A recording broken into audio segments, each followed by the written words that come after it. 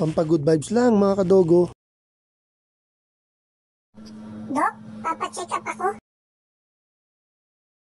Ano ba, ipapacheck up mo, iha? Mainit kasi effect ko kagabi pa, Dok.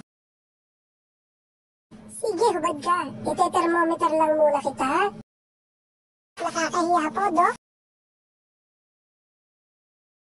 Hala, lagot ka, Kuton. Sige, magpatay na lang tayo ng ilaw.